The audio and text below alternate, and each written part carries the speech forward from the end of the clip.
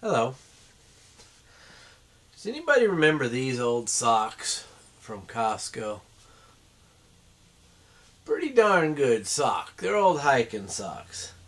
The ones you can't, they don't have anymore. They have a new version of a hiking sock. I haven't tried those ones yet, but I really, really like these old style. They were, you know, the spandex in them was really nice. These socks are year and a half old, and I mean, look at that. They still stretch out and go right back. It's, I mean, they are nice. Well, I had to find an alternative because most of them have wore out, and on the bottom, no more padding. Let's get that back right there, underneath the pads of your feet. Wore out, so I had to buy some new socks. And since our Costco is like 50 miles, 60 miles away, can't just turn around, run up there, and grab some of their new hikers. So I ordered some of these off of Amazon. They're called Alvadas, and they are a merino wool hiking sock. So I'm like, okay, they kind of look like the ones from Costco. Let's go ahead and hold them up together right here. This is the Costco, and this is the Alvadas right here. And when they come, there's it's three socks to a pack, and it's like fifteen dollars.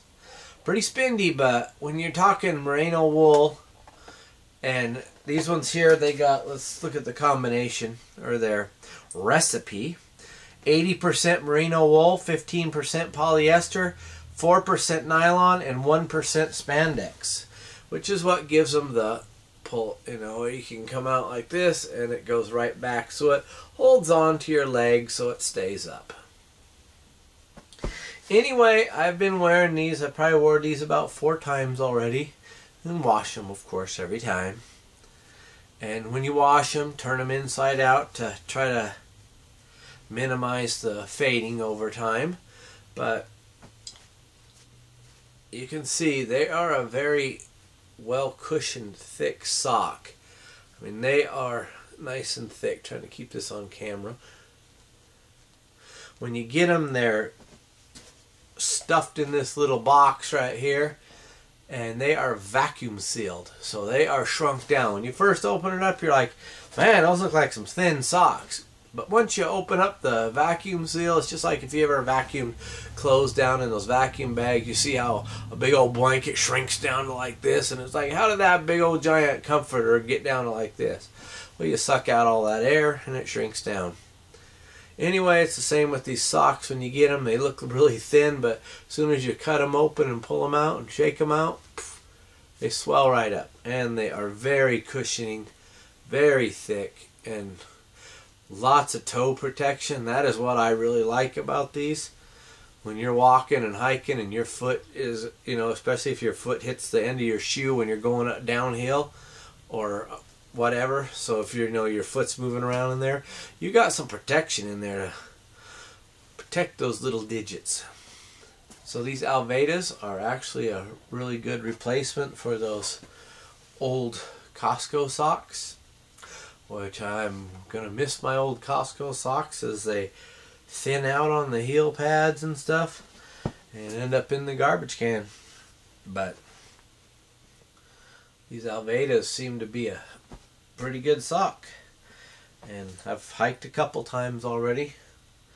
Quite a few miles in